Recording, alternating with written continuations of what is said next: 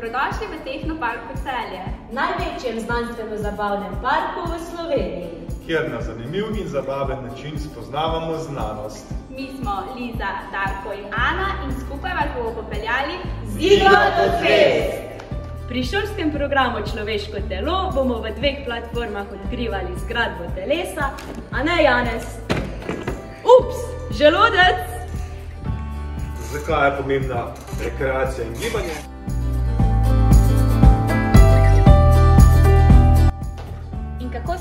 Hrane in gibanje povezujeta, ter zakaj je pomembno, da jemo raznoliko.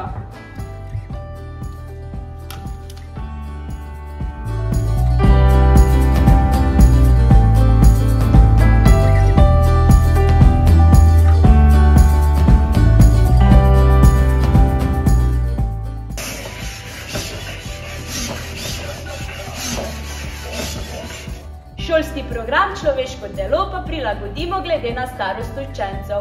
Razdelimo ga na prvo, drugo, tretjo triado. Se vidimo v Tehnoparku!